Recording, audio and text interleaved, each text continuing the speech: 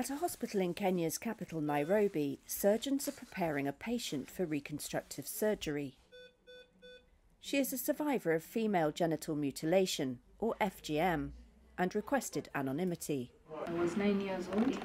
Um, I didn't know about anything. I was just told that um, taken for for um, like uh, something to make me a complete woman. Instead, the police officer says she was left feeling incomplete. That's why she was one of around 60 women who recently came forward for free clitoris reconstruction surgery.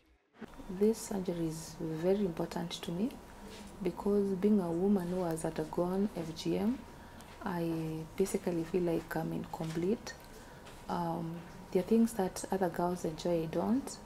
It has really put my esteem so down. FGM is practiced in 30 countries in Africa, the Middle East, and Asia.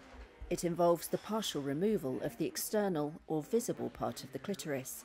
They don't feel like a full, complete woman. US surgeon Dr. Marcy Bowers was brought in by Clitoraid for the two week surgery initiative.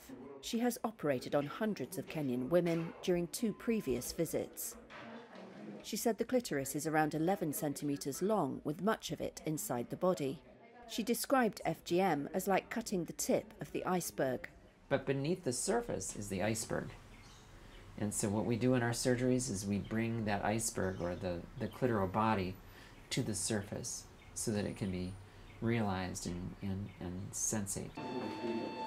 According to the United Nations, one in five Kenyan women and girls aged between 15 and 49 have undergone FGM. Bowers said her patients most often describe the reconstruction as life changing and say it has given them a chance to reclaim their womanhood.